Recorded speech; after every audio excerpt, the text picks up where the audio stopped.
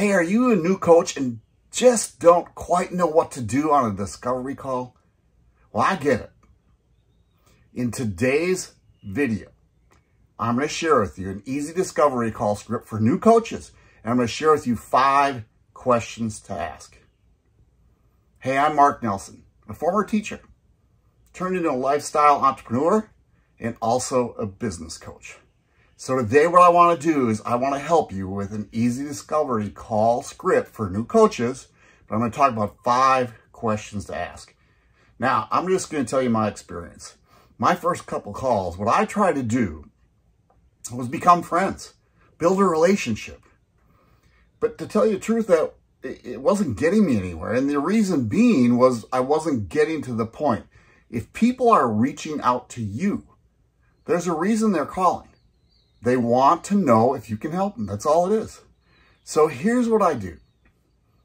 When I first start talking to them, and if you don't have, I've had friends do surveys, actually give them a questionnaire to answer before that call, and that can really help.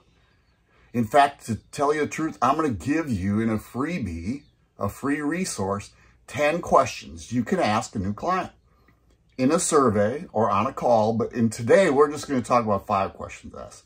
The first one is one I think that's very easy to ask. What do you want to achieve in your business in the next 12 months? And let them explain what they're looking for. Then, what would that look like? Right? Actually, that's two questions in one, but that's the first thing you want to do. They're reaching out to you. What do you want to achieve in your business in the next 12 months? Because the biggest thing, see, you want to see if you're the coach for them. And if you're not, then you refer them to somebody else. So that's the first question. Second question, who's your perfect client? Who's the best fits inside using your business product and services? That's what you're looking for.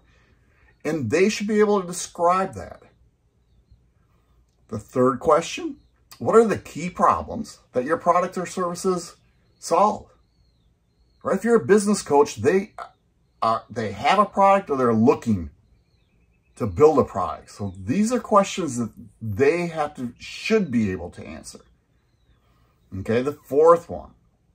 What's the greatest advantage of your product or service? And the fifth one is what's holding you back from having the success you want? That's a tough question. I actually, one of my first coaches, he really helped me with that because it was a mindset. And I had to work on that so I could become a better coach. But here's the thing. When people reach out to you, it's not all about building a relationship. It's just trying to find out if it's a good fit. So take your time, meet with them, determine whether there's somebody you can genuinely help. And guess what? There's plenty of people out there. So what I suggest is choose quality somebody that you know you can help, and somebody that will actually do the work because not all people are willing to do the work. So I hope that helps. Earlier I talked about this. It's I have a free resource that you can either, there's 10 questions that you can ask new people that are looking for coaching. You can either put it in a survey or you can just ask them on your call. I suggest keep that discovery call short. And then don't be afraid to ask for the sale. Hey, if you got any value from this, please share it. Subscribe to my channel. Follow.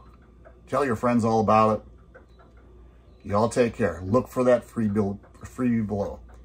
You take care, and we will talk again soon. Bye.